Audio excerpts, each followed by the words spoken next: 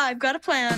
The Really Loud House presents four steps to impress your crush. I'm a boxing kangaroo! I'm so sorry. One, walk with confidence. Two, try reverse psychology. I don't like you. Oh.